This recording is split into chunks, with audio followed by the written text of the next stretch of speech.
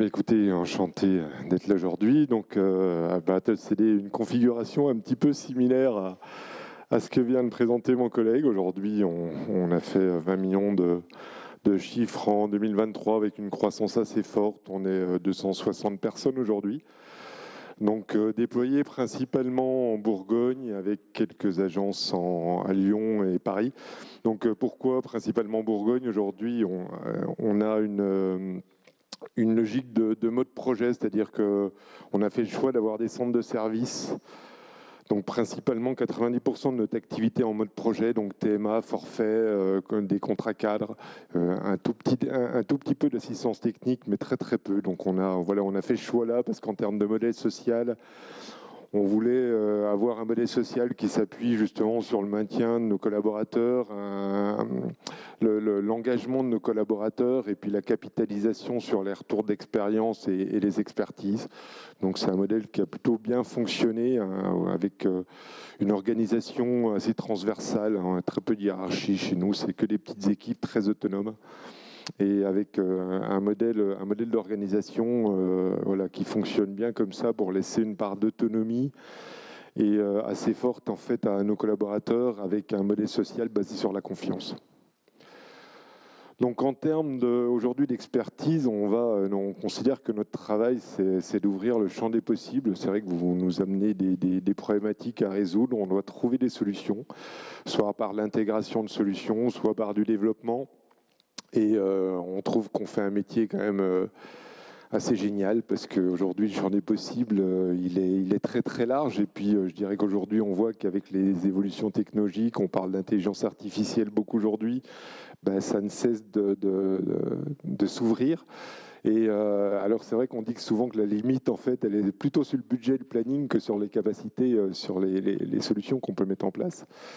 Et, c'est vraiment un métier où il y a beaucoup de créativité. Donc on trouve, on trouve que c'est vraiment très intéressant et on a toujours été très euh, acteur. Alors, mutualisation open source. Pourquoi j'ai mis aussi le terme de mutualisation? Parce qu'on travaille aussi beaucoup sur des projets mutualisés. C'est une petite particularité euh, chez nous.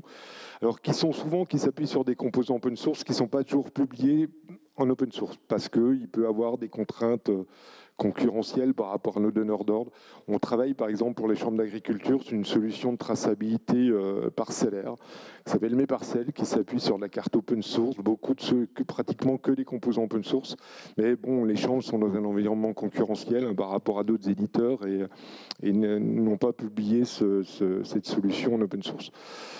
Et puis, on va, travailler beaucoup sur des coopératives, sur des, conseils régionaux. La solution Gertrude, par exemple, un dossier d'inventaire du patrimoine régional pour l'ensemble des régions. Bon, c'est très spécifique, ça concerne que les régions, donc ils n'ont pas publié la solution en open source, mais ça s'appuie également que sur des, des composants open source. Et puis, c'est le mérite d'être un projet qui a été mutualisé sur l'ensemble des régions. Donc on trouvait la démarche euh, très intéressante. Mais historiquement, on travaille beaucoup également sur l'intégration de solutions open source et on contribue à des projets open source. Et c'est quelque chose qui est très ancré dans, notre ADN et qui, correspondait aussi à, justement à notre modèle social et à notre mode de fonctionnement euh, très collaboratif. Donc aujourd'hui, en termes d'expertise, ben, on va retrouver, on fait beaucoup de projets de développement métier. On a un pôle qui va, qui va proposer des solutions de dématérialisation et des solutions collaboratives. Et puis, euh, on travaille aussi sur des solutions de, data euh, intelligence, donc data visualisation, euh, data science et, différentes solutions. Et puis, bien sûr, avec des logiques XUI, DevOps, ce qui a pu être présenté avant sur exactement les, les mêmes technos, hein, pratiquement. Euh, donc des choses qui sont, euh, qui sont assez classiques en termes de fonctionnement. On a voulu avoir en fait ces trois pôles, développement métier, des maths et data, pour être capable de proposer des solutions complètes à, nos clients, à la fois avec le, développement de solutions ad hoc sur les process métiers, intégrer les parties euh, documentaires collaboratives et la partie business intelligence. Donc sur, euh, sur euh, ces projets, comme je l'ai dit, on travaille beaucoup sur des logiques de, mutualisation et on a souhaité, euh, comment, quand on le peut, on, pousse nos clients à publier les solutions en, mode libre on bosse beaucoup. Alors la répartition de nos activités, c'est 60% secteur public. 25% secteur, secteur agricole, agricole agroalimentaire, une petite particularité chez nous, on travaille énormément sur ce secteur-là. Et puis le reste, on va trouver plutôt des ETI, grands comptes, industrie, services. Euh, donc c'est vrai que quand on est sur le secteur public, on va essayer de, favoriser la, publication des solutions euh, euh, sous licence libre. Je, parle souvent de Remocra, qui est, qui est pour nous un, projet qui était, qui était, je pense, très, vertueux et, qui est une démarche qu'on aime citer parce que c'est été initié par le SDIS du Var, qui a publié en open source et aujourd'hui on a 20, plus de 25 SDIS qui utilisent la solution dont les pompiers de Paris par exemple. Donc euh, avec un club utilisateur qui est très actif et euh, voilà une solution qui est très très dynamique, donc utilisée assez largement aujourd'hui en France. Euh, par l'ensemble des, des, SDIS et par, par, de très nombreuses SDIS. Donc WebMDPH à l'initiative de, plusieurs départements, donc solution open source pour la gestion des dossiers MDPH, et puis WebRSA, que Adulac connaît très bien, parce qu'on a ont été aussi à l'initiative de, ce projet dont on a repris la maintenance depuis, euh, plusieurs années. Et puis, bien sûr, euh, on va intervenir aussi sur des contributions, sur des solutions, des composants open source. La dernière, on a dû faire une contribution sur euh, Keklo, que je crois, pour l'intégration avec, avec France Connect. voilà, on essaie d'intervenir aussi dès qu'on peut sur des contributions. On a fait pas mal de contributions sur des composants carto pour le télé-hop, euh, c'était Pentao Data Intégration. Euh, euh, bon, il, est sorti de la communauté, le fondateur est sorti de, de, Pentao et, a recréé un, autre projet qui s'appelle Hop, un, j'en parle parce que c'est aujourd'hui un, concurrent très sérieux à Talend, et qui a quand même changé de modèle du coup, donc on a pas mal de, clients qui se réorientent vers cette solution OTL pour remplacer leur, leur flux Talend. Et puis on intervient sur départements et notaires avec, euh, avec une, euh, quand même un développement assez, assez important ces dernières années. Ça a pris une bonne dynamique. On a aujourd'hui pas mal de départements qui ont, déployé la solution.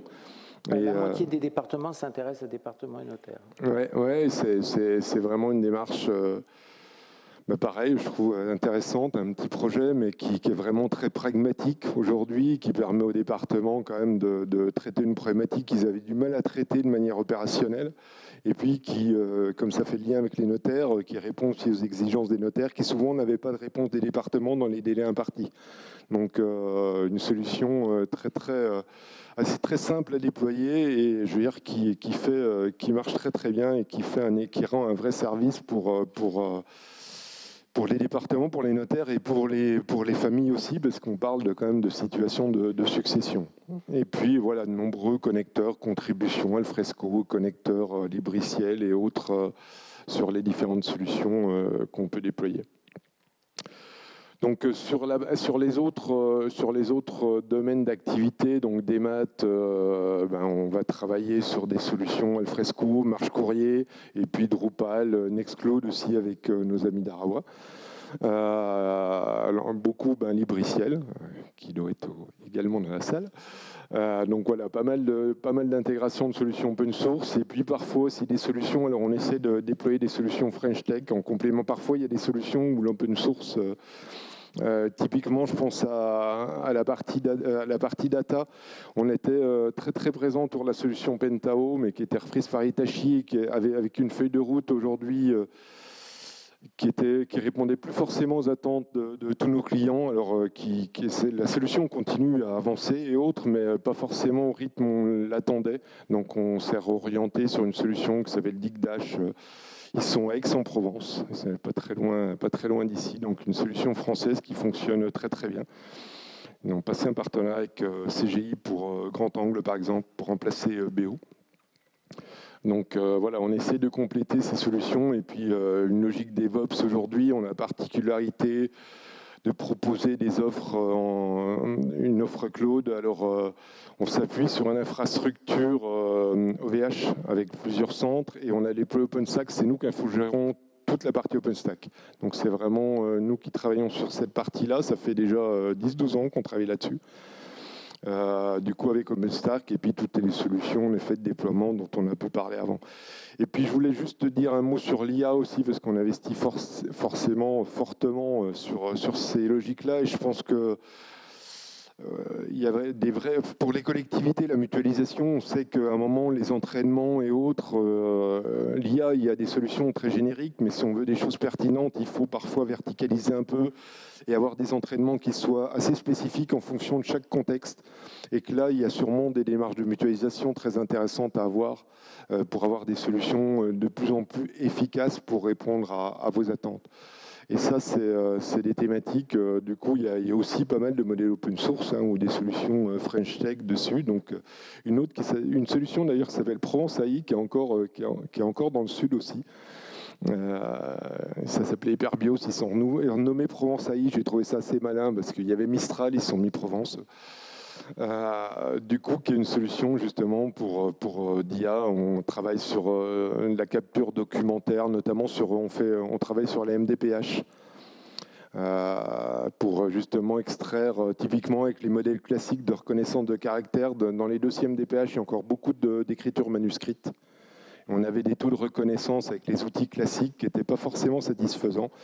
Aujourd'hui, avec l'IA, on arrive à être à 90% de reconnaissance sur les dossiers MDPH en termes d'extraction de données, donc d'alimentation des, logiciels MDPH. Donc vous voyez, pardon, une minute. Ben c'est bon, il doit me rester juste un slide. Donc euh, beaucoup, de, beaucoup de, références dans les collectivités. Hein, euh, ça fait aujourd'hui l'entreprise a plus de 20 ans, donc euh, comme vous l'avez vu, on déploie beaucoup de solutions open source et beaucoup de projets euh, développement métier des maths et data. Donc euh, collectivité, puis si tu passes au slide suivante, également, travaille également pour les ministères, agences gouvernementales, beaucoup d'agences gouvernementales, les hôpitaux. Donc tout ce qui va être sphère publique représente près de 60% de nos activités. Donc on est bien sûr référencé hein, sur les, catalogues euh, publics, UGA, PRESA, CANU, avec la particularité d'être référencé parfois pour des prestations, mais aussi des modules clés en main, notamment dans les maths, des suites, euh, des maths marchés publics par exemple et autres qui vont être déployables directement sur, euh, vos solutions de GED. Et ce qui nous permet aussi d'être référencé sur, sur de nombreux contrats multi-éditeurs. Merci.